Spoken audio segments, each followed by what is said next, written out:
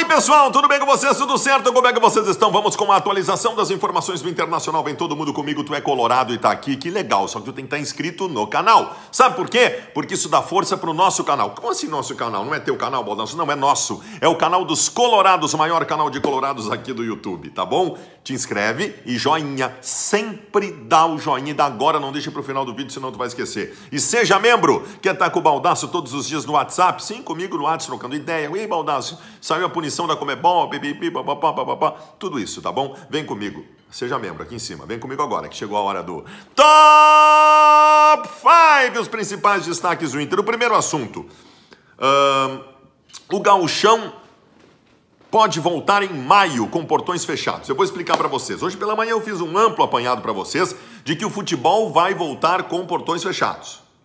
Futebol vai voltar com portões fechados. Essa é a ideia, tá? E seja para Libertadores, seja para futebol do Campeonato Brasileiro, Copa do Brasil, vai voltar com portões fechados, porque se esperar poder aglomerar 40, 50 mil pessoas num lugar, vai, não sei se dá esse ano. Então volta com portões fechados. Está se planejando final de maio, começo de junho. O que eu quero dizer para vocês é o seguinte: os clubes têm uma ideia. Eu passei várias ideias hoje, mas uma ideia eu não passei. De que os regionais sejam completados antes do restante das competições.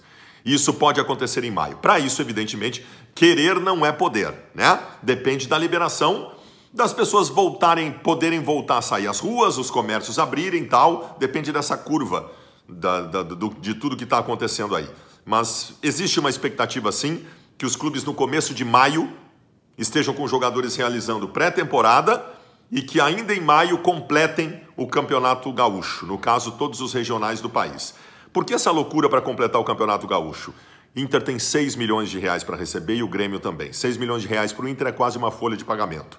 O Inter quer terminar o campeonato gaúcho, as sete datas que faltam, hum, para ganhar essa grana, tá? Essa é a verdade, essa é a realidade. Segundo ponto, vocês estão ouvindo falar bastante de uma quebra de contrato, né? Da Turner com os clubes que assinaram com o Esporte Interativo. O Esporte Interativo fechou e aí a Turner, uh, que, que ficou com o comando de todo o bojo do negócio, não quer mais. Não quer mais, tá? Uh, lá em 2016, o Inter, o Palmeiras, o Bahia, o Santos, o Fortaleza, estou esquecendo alguém aí, clubes da Série A assinaram com o Esporte Interativo para transmissões em canal fechado, né?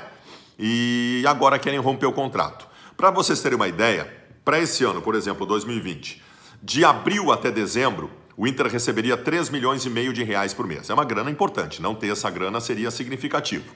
Rompimento de contrato, uh, os clubes estão pessimistas em relação a, a acordo que receba algum valor e tal, pode ir para a justiça isso. É um prejuízo? É. Mas também libera os clubes, no momento que rescindiu o contrato, libera os clubes para assinar já para esse ano com a Sport TV, né? O problema é que não tem poder de barganha, né? O problema é que aí é clubes desesperados querendo assinar de qualquer forma a Sport TV provavelmente vai jogar com isso para dar um valor mais baixo. Mas enfim. Essa é a realidade. Outra coisa que se fala bastante, tem Colorado assustado, porque a Adidas está tá renegociando o contrato com o Flamengo. A Adidas não pagou uma parcela de 8 milhões de reais para o Flamengo nessa parceria, e aí a galera, porra, e com o Inter vai acontecer a mesma coisa? Calma que eu te explico. Com o Inter, o negócio é completamente diferente. O negócio entre Adidas e Flamengo é um negócio de patrocínio. A Adidas paga um valor mensal. Com o Inter, não. Com o Inter é quase uma consignação de produtos. Quase, não é bem isso. Uh, 27% de cada produto da Adidas vendido vai para o internacional. Então, depende do que vende. O que a Adidas precisa ter nesse acordo com o Inter é ter produto para botar para vender, e me parece que ela vai ter. E aí, cada venda, claro que as vendas estão bem abaixo agora, bem abaixo. Se voltar com portões fechados, vai continuar abaixo, porque o grosso da venda de produto é nos dias de jogos. Então, é, tem o prejuízo estabelecido, mas não na relação Inter e Adidas. Inter e Adidas é isso, ela dá o produto, vende, o Inter pega 27%. É uma relação diferente dessa relação do, do, do, do, do Flamengo lá com eles. É uma relação completamente distinta. Eu falei hoje à tarde sobre a treta do Patrick com o Maurício Saraiva, né?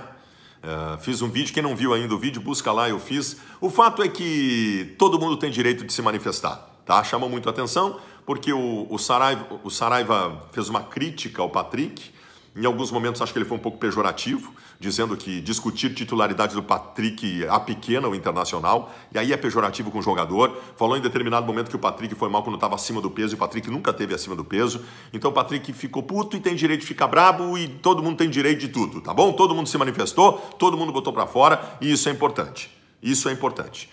Uh, último assunto. O Inter, o Inter tem um orçamento. Na previsão de orçamento do ano passado para este ano, para 2020, a ideia era fazer 100 milhões de reais em venda de jogadores. 100 milhões de reais. Que não é um valor muito alto, não. Não é um valor fora de série, para vocês terem uma ideia. Só com o Nico Lopes, no ano passado, o Inter fez 50 milhões de reais. O Inter no ano passado fez mais de 100 milhões de reais em venda de jogadores, isso que não, teve, não fez nenhuma venda estratosférica. Quer dizer, não é muito difícil fazer 100 milhões de reais, numa condição normal, né?